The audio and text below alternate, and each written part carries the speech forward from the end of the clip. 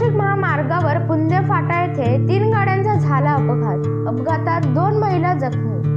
नाशिककडून मुंबईच्या दिशेने हिरवी मिरचीच्या गोणी भरलेले ट्रक जात असताना चालकाचा ताबा सुटला व तो दुसऱ्या लेनवर गेला आणि समोरून येत असलेल्या पिकअपवर जाऊन आदळला व पिकअपची पुढे चाललेल्या कारला जोरदार धडक बसल्याने कारचे मोठ्या प्रमाणात नुकसान झाले असून आतमध्ये असलेल्या दोन महिलांना मार लागला व त्या जखमी झाल्या आहेत.